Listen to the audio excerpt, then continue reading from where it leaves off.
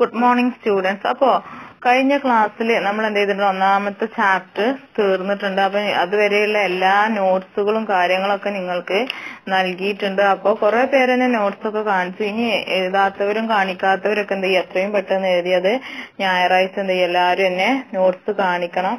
ആ, ഇനി നോട്ട്സ് കാണിക്കാത്തവര് എന്ത് ചെയ്യും? ഞാൻ അവരുടെ വിവരങ്ങൾ നിങ്ങളെ ക്ലാസ് ടീച്ചേഴ്സിന് നൽകും. അപ്പൊ അതിനൊന്നും നിൽക്കണ്ട. ആദ്യം തന്നെ എന്ത് ചെയ്യുക? എല്ലാവരും പെട്ടെന്ന് നോട്ട്സ് ഒക്കെ എഴുതിയിട്ട് കാണിക്കുക. ബോയ്സ് എന്ത് ചെയ്യുക? പ്രത്യേകം ശ്രദ്ധിക്കട്ടാ കുറച്ച് പേരെന്തുണ്ട്? തീരെ നോട്ട്സ് കാണിക്കാത്തവരുണ്ട്. അപ്പൊ ഇനി നമുക്ക് എന്ത് ചെയ്യാം? നമ്മുടെ സെക്കൻഡ് ചാപ്റ്റർ തുടങ്ങാം. ദ സിഗ്നേച്ചർ ഓഫ് ടൈം അതാണ് നമ്മുടെ സെക്കൻഡ് ചാപ്റ്റർ അപ്പോ നമുക്ക് നോക്കാം. ഈ സെക്കൻഡ് ചാപ്റ്ററിൽ ഈ ഫസ്റ്റിലുള്ള കുറച്ച് മാപ്പുകളൊക്കെ എന്ത് ചെയ്യുന്നുണ്ട് പരിചയപ്പെടുത്തുന്നുണ്ട്. അപ്പൊ അത് വളരെയധികം ഇമ്പോർട്ടന്റ് ഇല്ല. എന്നാലും എന്ത് ചെയ്യണം നിങ്ങൾ മനസ്സിലാക്കി വെക്കണം. ഇമ്പോർട്ടന്റ് ഉള്ള ഭാഗം എന്ത് ചെയ്യണം? പ്രത്യേകം പറയാം. The school social science club decided to conduct an exhibition on the topic Earth phenomena in the connection with the ob- observance of the Earth Day. അതായത് ഭൗമ ദിനാചരണത്തിന്റെ ഭാഗമായിട്ട്. സ്കൂൾ സാമൂഹ്യ ശാസ്ത്ര ക്ലബിന്റെ ആഭിമുഖ്യത്തിൽ എന്ത് ചെയ്തു? ഭൗമ പ്രതിഭാസങ്ങൾ അതായത് എർത്ത് ഫിനോമിന എന്ന വിഷയത്തെ ആസ്പദമാക്കി ഒരു എക്സിബിഷൻ അല്ലെങ്കിൽ ഒരു പ്രദർശനം സംഘടിപ്പിക്കാൻ തീരുമാനിച്ചു. The following are some of the pictures selected from those received for exhibition അപ്പൊ ഈ പ്രദർശനത്തിനെത്തിയ ചിത്രങ്ങളിൽ നിന്ന് എന്ത് ചെയ്ത്? കുറച്ച് തിരഞ്ഞെടുത്ത ചിത്രങ്ങളാണ് നമുക്ക് താഴെ നൽകിയിട്ടുള്ളത്. അപ്പോ ഫസ്റ്റ് പിക്ചർ നമുക്ക് കാണുന്നുണ്ട് അല്ലെ അപ്പൊ അതിൽ Pacific Ocean Antarctic Ocean Atlantic Ocean Indian Ocean അതായത് പസഫിക് സമുദ്രം അന്റാർട്ടിക് സമുദ്രം അറ്റ്ലാന്റിക് സമുദ്രം ഇന്ത്യൻ സമുദ്രം ഇവയൊക്കെ നമുക്ക് കാണാം. ഇനി അതിന്റെ താഴെ നമുക്ക് കാണുന്നുണ്ട് zone of severe earthquakes അതായത് ശക്തമായ ഭൂകമ്പങ്ങൾ അനുഭവപ്പെടുന്ന മേഖല. അപ്പോ അത് ഏതൊക്കെയാണ്? അവിടെ നൽകുന്നുണ്ട് red dots indicate earthquake zone അതായത് ചുവന്ന കുത്തുകൾ കൊണ്ടാണ് എന്ത് ചെയ്യുന്നത് ഭൂകമ്പങ്ങളെ അവിടെ സൂചിപ്പിച്ചിട്ടുള്ളത്. അപ്പൊ നമുക്ക് ആ മാപ്പ് നോക്കുമ്പോൾ തന്നെ എന്ത് ചെയ്യുന്നുണ്ട്? നിറയെ ചുവന്ന കുത്തുകൾ കാണാം അല്ലെ? അപ്പൊ അതേ നമുക്ക് മനസ്സിലാവുന്നുണ്ട്. എവിടെയൊക്കെയാണ്? അതായത് സമുദ്ര ഭാഗങ്ങളിലും അതുപോലെ വൻകര ഭാഗങ്ങളിലൊക്കെയാണ് എന്ത് ചെയ്യുന്നത്? എർത്ത് കേക്ക് കൂടുതലായിട്ടും ശക്തമായ ഭൂകമ്പങ്ങളെ കൂടുതലായിട്ട് നമുക്ക് കാണാൻ സാധിക്കുന്നത്. നെക്സ്റ്റ് പിക്ചറിൽ നമുക്ക് നോക്കാം. വോൾക്കാനിക് സോൺ അതായത് അഗ്നിപർവത മേഖലകൾ. റെഡ് ഡോട്ട് ഇൻഡിക്കേറ്റ് വോൾക്കാനോസ് അതായത് അവിടെ നമുക്ക് കാണുന്നുണ്ട് എന്ത്? റെഡ് മാർക്കിലാണ് അല്ലെ? ചുവന്ന നിറത്തിലാണ് എന്ത് ചെയ്തത് അവിടെ? അഗ്നിപർവത മേഖലകൾ എന്ത് ചെയ്തിട്ട് സൂചിപ്പിച്ചിട്ടുള്ളത്. അതും നമുക്ക് കാണാൻ സാധിക്കുന്നത് വൻ വൻകരകളുടെ അതിർത്തികളിൽ അതുപോലെ സമുദ്ര ഭാഗങ്ങളിലൂടെ ഒക്കെയാണ് എന്ത് ചെയ്യുന്നത്? അഗ്നിപർവത മേഖലകൾ നമുക്ക് കൂടുതലായിട്ട് കാണുന്നത്. നെക്സ്റ്റ് മാപ്പ് നമുക്ക് കാണുന്നുണ്ട് അല്ലെ മേജർ മൗണ്ടെയിൻ റേഞ്ചസ് അതായത് പ്രധാന പർവത നിര ഭാഗങ്ങളാണ് നമുക്ക് കാണുന്നത്. അവിടെ ഏത്? യെല്ലോ യെല്ലോ നിറത്തിലാണ് എന്ത് ചെയ്തിട്ടുള്ളത്? ആ ഭാഗങ്ങളെ സൂചിപ്പിച്ചിട്ടുള്ളത്. അപ്പോ നമുക്ക് കാണാം. റോക്കീസ് പർവത ആൻഡീസ് അല്ലെ അതുപോലെ ആൽസ് കോക്കസ് ഹിമാലയം ഇവയൊക്കെ അപ്പോ ഈ അവിടെയും നമുക്ക് എന്ത് ചെയ്യുന്നുണ്ട്? സമുദ്രം അതായത് എല്ലാം നമുക്ക് എവിടെയാണ് അന്ന് കാണുന്നത്? അതായത് പർവ അഗ്നിപർവതങ്ങളും അതുപോലെ പ്രധാന പർവത നേർത്ത് കേക്ക് ഇവയൊക്കെ ഉണ്ടാകുന്നത് എവിടെയാണെന്ന് നമുക്ക് പ്രധാനമായിട്ട് മനസ്സിലാകുന്നത്. അതായത് അതിർത്തികൾ വൻകരകളുടെ അതിർത്തികളെ അതുപോലെ സമുദ്ര പ്രദേശങ്ങളിലൊക്കെ ആയിട്ടാണ് നമുക്ക് കൂടുതലായിട്ട് കാണുന്നത്. ഇനി ഒരു മാപ്പ് നൽകിയിട്ടുണ്ട്. On completing the activity having you reach the following conclusion അപ്പോ ഈ പ്രവർത്തനങ്ങൾക്കൊടുവിൽ അതായത് നമ്മൾ ഈ മാപ്പുകളൊക്കെ നോക്കിയില്ലേ അതിനൊടുവിൽ നിങ്ങൾ എത്തിച്ചേർന്ന നിഗമനങ്ങൾ ഇവയൊക്കെ അതായത് എന്ത്? ഇവിടെ ഒരു മാപ്പ് നൽകിയിട്ടുണ്ട്. അപ്പൊ ആ മൂന്ന് മാപ്പിലെയും കാര്യങ്ങൾ ഉൾക്കൊള്ളിച്ചുകൊണ്ട് അതിൽ രേഖപ്പെടുത്തിയ പോലെ എന്ത് ചെയ്യുക? ഈ ഒരൊറ്റ മാപ്പിൽ എന്ത് ചെയ്യുക? നിങ്ങൾ അഗ്നിപർവത സ്ഫോടനവും അതുപോലെ എർത്ത് കേക്കും മൗണ്ടൈൻ റേഞ്ച് അല്ലെ അവർക്ക് എന്ത് ചെയ്യുക ഈ ഒരൊറ്റ മാപ്പിൽ നൽകും. ഓരോന്നിനും എന്ത് ചെയ്യുക വ്യത്യസ്ത നിറങ്ങളോ അല്ലെങ്കിൽ വ്യത്യസ്ത ഷെയ്ഡുകളോ ഒക്കെ നൽകിയിട്ട് രേഖപ്പെടുത്തുക. അങ്ങനെ രേഖപ്പെടുത്തുമ്പോൾ നമ്മൾ എന്ത് ചെയ്യുന്നുണ്ട്? കുറച്ച് കൺക്ലൂഷനിൽ നമ്മൾ എത്തിച്ചേരുന്നുണ്ട്. എന്തൊക്കെയാണ് ആ കൺക്ലൂഷൻ നോക്കാം. ഈ കൺക്ലൂഷൻ എന്ത് ചെയ്യണം? നിങ്ങൾ പഠിച്ചിട്ടുണ്ടാവണം. Earthquakes are frequent in certain part of the earth അതായത് ഭൂമിയിൽ ചില പ്രത്യേക പ്രദേശങ്ങളിൽ എന്ത് ചെയ്യുന്നുണ്ട്? ഭൂകമ്പങ്ങൾ കൂടുതലായിട്ട് ഉണ്ടാകുന്നുണ്ട്. അതായത് നമ്മൾ ആ മാപ്പുകൾ നോക്കിയപ്പോൾ നമുക്ക് മനസ്സിലാക്കി. അപ്പൊ ഒന്നും കൂടെ പറയാം. Earthquakes are frequent in certain parts of the earth അതായത് ഭൂമിയിൽ ചില പ്രത്യേക പ്രദേശങ്ങളിൽ എന്ത് ചെയ്യുന്നുണ്ട്? ഭൂകമ്പങ്ങൾ കൂടുതലായിട്ട് കാണുന്നു. Volcanoes are more common in certain specific region അതായത് ചില പ്രത്യേക പ്രദേശങ്ങളിലാണ് എന്ത് ചെയ്യുന്നത്? അഗ്നിപർവതങ്ങൾ കാണുന്നത്. വോൾക്കാനോസ് കാണുന്നത്. There are some peculiarities in the distribution of mountains അതായത് പർവതങ്ങളുടെ വിന്യാസത്തിലും എന്തുണ്ട്? പ്രത്യേകതകൾ നമുക്ക് പെക്യുലാരിറ്റീസ് ചില പ്രത്യേകതകൾ അതായത് ഡിസ്ട്രിബ്യൂഷൻ ഇവിടെ വിതരണം അല്ലെങ്കിൽ വിന്യാസത്തിലും നമുക്ക് ചില പ്രത്യേകതകൾ നമുക്ക് കാണാൻ സാധിക്കുന്നുണ്ട്. Quake zone and distribution of mountain on the earth surface more or less coincide അതായത് ഭൂമുഖത്ത് ഭൂകമ്പ കേന്ദ്ര മേഖലകളും പർവത മേഖലകളുടെ വിന്യാസത്തിലും എന്താണ് ഏറെക്കുറെ ഒരുപോലെ നമുക്ക് കാണാന് സാധിക്കും. ഇനി നമ്മൾ പറഞ്ഞു അല്ലെ അതായത് ഈ കൺക്ലൂഷൻ എന്ത് ചെയ്യാ? നിങ്ങൾ പഠിച്ചു വെക്കണം. ഇനി നമ്മൾ പറഞ്ഞു മുകളിൽ നമ്മളൊരു മാപ്പ് അടയാളപ്പെടുത്താൻ പറഞ്ഞിരുന്നില്ലേ? അപ്പൊ ആ മാപ്പ് എന്ത് ചെയ്യാ?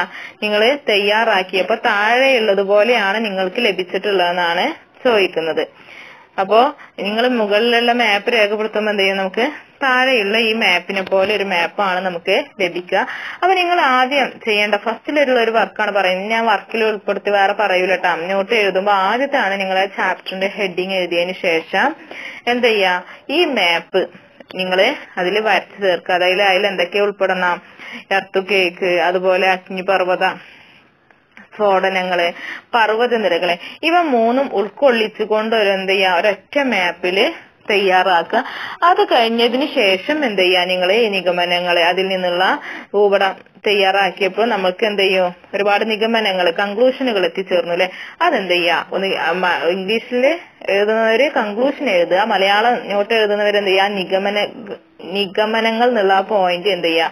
അവിടെ എഴുതി ചേർക്കണം. അതാണ് നമ്മൾ ആ നോട്ടിന്റെ ഫസ്റ്റ് ഉള്ള ഭാഗം. അപ്പോ അത്രയും കാര്യങ്ങൾ എന്ത് ചെയ്യാ? എല്ലാവരും നോട്ടിന്റെ ഫസ്റ്റ് പേജിൽ തയ്യാറാക്കണം. നമ്മൾ നമ്മുടെ ചാപ്റ്ററിന്റെ പ്രധാന ഭാഗത്തേക്ക് പ്രവേശിക്കണം. അതായത് നമുക്ക് എക്സാമിന് ചോദിക്കുന്ന കാര്യങ്ങളൊക്കെ ഇവിടെ നിന്ന് അങ്ങോട്ട് നമുക്ക് സ്റ്റാർട്ട് ചെയ്യും. You know that the crust which is the outermost layer of the earth is solid അതായത് ഭൂമിയുടെ സോളിഡ് ആകൃതിയിലുള്ള അല്ലെ? അതായത് ഔട്ടർ മോസ്റ്റ് ലെയർ ആണ് ക്രിസ്റ്റി എന്നെന്ത് ചെയ്യാം? എല്ലാവരും മുന്നേ പഠിച്ചിട്ട്. അതായത് ഖരാവസ്ഥയിലുള്ള ഭൂമിയുടെ പുറന്തോടാണ് ഏത് ക്രസ്റ്റ്. അതായത് ഭൂവൽക്കം എന്ന് എന്ത് ചെയ്തിട്ടുണ്ട് എല്ലാവരും പഠിച്ചിട്ടുണ്ട്. മലയാളത്തിൽ പറയുന്നുണ്ട്. മലയാളത്തിലുള്ളവർക്ക് മനസ്സിലാവണ്ടേ? അപ്പോ ഖരാവസ്ഥയിലുള്ള ഭൂമിയുടെ പുറന്തോടാണ് ഏതെന്ന് പറയുന്നത്? ക്രസ്റ്റ് അല്ലെങ്കിൽ ഭൂവൽക്കം എന്ന് പറയുന്നത്.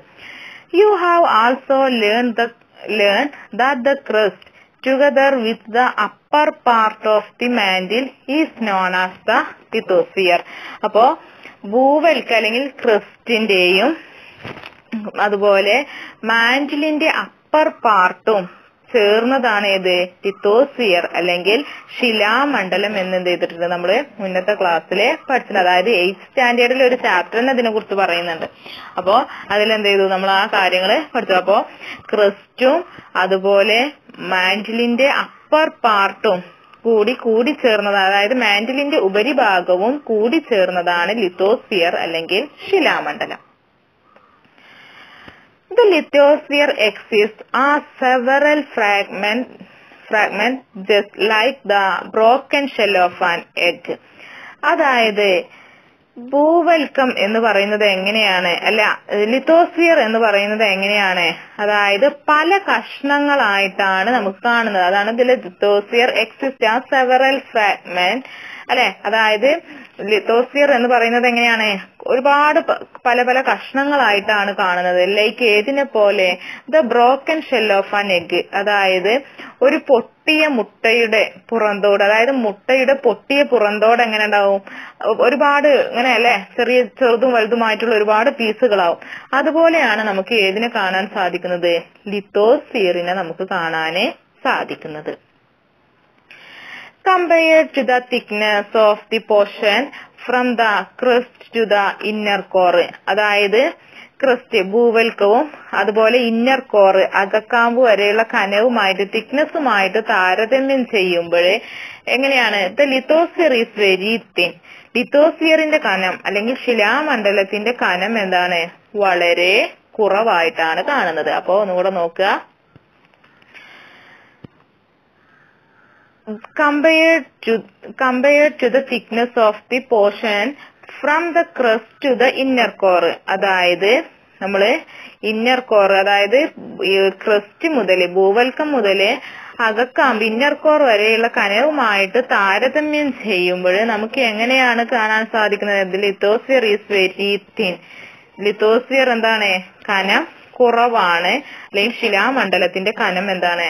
വളരെയധികം കുറവായിട്ടാണ് നമുക്ക് കാണാൻ സാധിക്കുന്നത്. Then next this portion of the lithosphere which are several thousand kilometre wide and റോഫ്ലി hundred kilometre thick are called lithospheric plates അപ്പോ അനേകായിരം കിലോമീറ്ററുകൾ വിസ്തൃതിയും അതുപോലെ പരമാവധി നൂറ് കിലോമീറ്റർ കനവുമുള്ള ശിലാമണ്ഡല ഭാഗങ്ങളെയാണ് എന്ത് പറയുന്നത് ലിത്തോസ്ഫിയർ അല്ലെങ്കിൽ ലിത്തോസ്ഫിയറിന്റെ ഭാഗങ്ങളെ ലിത്തോസ്ഫിയർ പ്ലേറ്റ്സ് എന്ന് പറയുന്നുണ്ട്. അപ്പോ മലയാളം കൂടെ നോക്കുക. അനേകായിരം കിലോമീറ്ററുകൾ വിസ്തൃതിയും വൈഡ് വിശാലമായതും അതുപോലെ ഹൺഡ്രഡ് കിലോമീറ്റർ എന്താണ് തിക്നെസ് കനവുമുള്ള ലിത്തോസ്ഫിയറിന്റെ ഭാഗങ്ങളെയാണ് നമ്മൾ എന്ത് പറയുന്നത്? ലിത്തോസ്ഫിയർ പ്ലേറ്റ്സ് എന്ന് പറയുന്നത്. ഇത്രയും കാര്യം മനസ്സിലായല്ലോ? ഇനി whether major or minor each plates may exclusively contain either oceanic oceanic crust or continental crust അപ്പൊ അത്രയും ഭാഗം ഒന്നും കൂടെ നോക്കുക. Whether major or minor each plates exclusively contain either o either oceanic crust or continental crust. അപ്പോ വലുതും ചെറുതുമായിട്ടുള്ള ഈ ഫലകങ്ങൾ ഓരോന്നും എന്താണ്? സമുദ്രഭാഗവും. അതാണ് അവിടെ പറയുന്നത്. ഓഷ്യാനിക് ക്രസ്റ്റും അതുപോലെ എന്ത് ചെയ്യുന്നുണ്ട്? കോണ്ടിനെന്റൽ ക്രസ്റ്റും ഉൾക്കൊള്ളുന്നതോ? ഓർ പിന്നെന്താ പറയുന്നത്? Contain combination of oceanic and continental അല്ലെ? അതായത് വലുതും ചെറുതുമായിട്ടുള്ള ഈ ഫലകങ്ങൾ ഓരോന്നും സമുദ്രഭാഗവും വൻകര ഭാഗവും ഉൾക്കൊള്ളുന്നതും അല്ലെങ്കിൽ സെപ്പറേറ്റ് ആയിട്ട് ഓഷ്യന്റെ ഭാഗം മാത്രം ഉൾക്കൊള്ളുന്നതും അല്ലെങ്കിൽ കോണ്ടിനെന്റിന്റെ ഭാഗം മാത്രം ഉൾക്കൊള്ളുന്നതും ആകാം. ഇനി നെക്സ്റ്റ് പാരഗ്രാഫ് നോക്ക്. While doing the map based on activity didn't you notice some natural boundaries on the map അതായത് നിങ്ങൾ ഭൂപടത്തെ ആസ്പദമാക്കി ചെയ്ത പ്രവർത്തനത്തിൽ ഭൂപടത്തിനുള്ളിൽ ചില സ്വാഭാവിക അതാണ് നാച്ചുറൽ ബൗണ്ടറീസ് എന്ത് ചെയ്തിട്ടുണ്ട്? അവിടെ രൂപം കൊണ്ടിട്ടുണ്ട്. Those are the boundaries of the lithospheric plates ഈ ഇവ ഈ ബൗണ്ടറീസുകൾ നമുക്ക് കാണല്ലേ ഇവയാണ് എന്ത്? ശില മണ്ഡല ഫലകങ്ങളുടെ അരുകുകളാണ്. അതായത് ലിത്തോസിയറിക് പ്ലേറ്റ്സുകളുടെ ബൗണ്ടറികളാണ് നമുക്ക് ആ കാണുന്നത്. Identify and list the different lithospheric plates from the following map അതായത് ചുവടെ നൽകിയ മാപ്പ് നിരീക്ഷിച്ചത് എന്ത് ചെയ്യുക ലിത്തോസ്ഫിയറിക് പ്ലേറ്റ്സ് അല്ലെങ്കിൽ ശിലാമണ്ഡല ഫലകങ്ങൾ ഏതൊക്കെയാണെന്ന് അവയുടെ പേരുകൾ ഏതൊക്കെയാണെന്ന് നമുക്ക് എഴുതാനാണ്. അപ്പൊ നമ്മൾ മാപ്പ് നോക്കുമ്പോൾ നമുക്ക് കാണുന്നുണ്ട്. ആസ്തേരിയൻ ഫലകം അല്ലെങ്കിൽ ആസ്തേരിയൻ പ്ലേറ്റ്സ് പസഫിക് ഫലകം അതുപോലെ വടക്കേ അമേരിക്കൻ പ്ലേറ്റ്സ് തെക്കേ American plates Arctic Antarctic plates അല്ലെ? യുറേഷ്യൻ പ്ലേറ്റ്സ് ആഫ്രിക്കൻ പ്ലേറ്റ്സ് ഇവയൊക്കെ എന്താണ് നമുക്ക് മേജർ പ്ലേറ്റ്സുകളാണ് ഇവിടെ നൽകിയിട്ടുള്ളത്. ഇനി ഇതിന്റെ ഇടയിൽ എന്ത് ചെയ്യുന്നുണ്ട്? കുറച്ച് മൈനർ പ്ലേറ്റ്സുകളും വരുന്നുണ്ട്. നമുക്ക് നോക്കാം. Know you know the different lithosphere plates അതായത് ഇപ്പൊ നമുക്ക് മനസ്സിലായില്ലേ? അതായത് വ്യത്യസ്തമായിട്ടുള്ള ലിത്തോസ്ഫിയറിക് പ്ലേറ്റ്സുകൾ ഏതൊക്കെയാണെന്ന്. This can be classified into major and minor plates based on size അതായത് സൈസിന്റെ അടിസ്ഥാനത്തിൽ ഈ പ്ലേറ്റ്സുകൾ എന്ത് ചെയ്തിട്ടുണ്ട്? മേജർ പ്ലേറ്റ്സ് എന്നും വലിയ പ്ലേറ്റ്സ് എന്നും മൈനർ പ്ലേറ്റ്സ് ചെറിയ പ്ലേറ്റ്സുകൾ എന്നും അതായത് വലിയ ഫലകങ്ങളൊന്നും ചെറിയ ഫലകങ്ങളും എന്ത് ചെയ്തിട്ടുണ്ട്? തരംതിരിക്കുകയും ചെയ്തിട്ടുണ്ട്. ഫിലിപ്പീൻ അതുപോലെ Cocos Nazca Caribbean Scotia Arabia etcetera are major പ്ലേറ്റ്സുകൾ അപ്പോ മൈനർ പ്ലേറ്റ്സുകൾ മൈനർ പ്ലേറ്റ്സുകൾ ഏതൊക്കെയാണ്? ഫിലിപ്പീൻ കോക്കോസ് അതായത് ചെറിയ ഫലകങ്ങളാണ് Philippines Cocos Nazca Caribbean Scotia Arabia തുടങ്ങിയവ. Thus are seven major plates of the specific plates is the largest. അതായത് വലിയ ഫല പ്ലേറ്റ്സുകൾ ഫലങ്ങൾ എത്രയുണ്ട്? സെവൻ ഏഴെണ്ണം ഉണ്ട്. അതിൽ ഏറ്റവും വലിയ ഫലകാണ് ഇത് Pacific plates specific plates involve oceanic plate oceanic plates alone അതായത് സമുദ്രഭാഗം മാത്രം ഉൾക്കൊള്ളുന്ന ഒരു പ്ലേറ്റ്സ് അല്ലെങ്കിൽ ഒരു ഫലകമാണ് ഇത് പസഫിക് ഫലകം. അപ്പോ ഇന്നത്തെ ക്ലാസ്സിൽ നമ്മൾ പറഞ്ഞു ലിത്തോസ്ഫിയറിന് പറഞ്ഞു അതിന്റെ കനം എന്തൊക്കെ എത്രമാത്രമാണെന്ന് പറഞ്ഞു.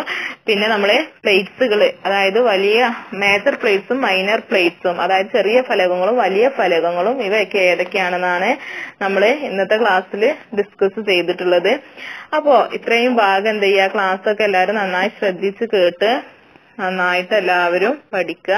നമുക്ക് എന്ത് ചെയ്യാം? അടുത്ത ക്ലാസ്സിൽ അടുത്ത ഭാഗം ഡിസ്കസ് ചെയ്യാം.